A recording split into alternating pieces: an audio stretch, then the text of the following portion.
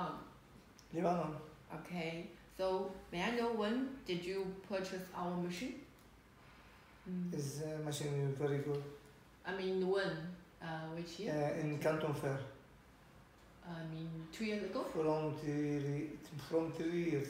Three years. Okay, Three. long time. Three years. I met in uh, with uh, Aaron in Canton Fair. Oh, okay, okay. Three years ago, then Yes. you have a to 2015. 2015. Okay. Yeah. So what material do you deal with? Material your uh, baler. Yeah. What material do you praise? Steel. Uh, steel uh, and light metal and uh, and aluminium. aluminum and steel. Okay. So how is the machine now? Is it? Uh, It's very good.